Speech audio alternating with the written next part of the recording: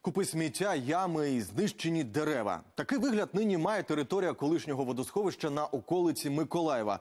Люди бідкаються, ситуація погіршується щороку і намагаються зарадити проблемі самотужки. На місці побували наші кореспонденти. Вот мы видим, что это достаточно молодое дерево. Оно было спилено вандалами. Ему еще расти, расти.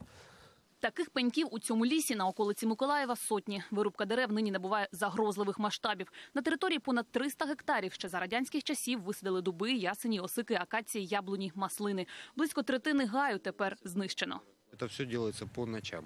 Что тем более поезда здесь. То есть если даже кто-то ночью гуляет ну, может не услышать из-за шума поездов.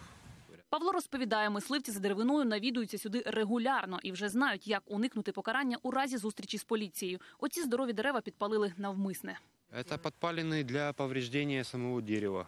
Э, То есть ну, спилить, чтобы сказать, что оно поврежденное, либо, ну, либо оно засохнет через год-два, спилится как сухое.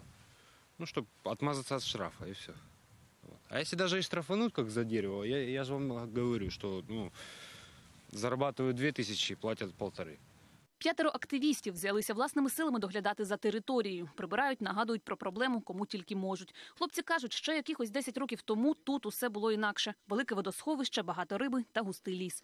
Тепер водойма засохла, а на її місці з'являються нові й нові купи сміття. А ще ями. Метикуваті громадяни активно вивозять звідси ґрунт. Завадити цьому миколаївські чиновники не в змозі. Мовляв, земля, хоч і належить місту, але не має статусу рекреаційної зони чи лісового масиву. Єдине, що забезпечили регулярні протипожежні заходи, а ще встановлюють попереджувальні таблички. Однак вони час від часу зникають. Мы устанавливаем уже второй раз даже таблички, которые запрещают со штрафом, где мы четко предупреждаем людей, что вывозить и выкидывать мусор нельзя. Это как коррекционная зона. Она в любой момент может быть использована как под заполнение таких же способов, как и было питьевой водой.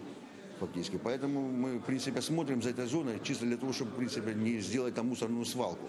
Місцева адміністрація планує встановити шлагбауми на в'їздах до лісу і навіть відеокамери. Втім, коли це зроблять, невідомо. Та й чи допоможуть такі заходи? Чиновники сумніваються.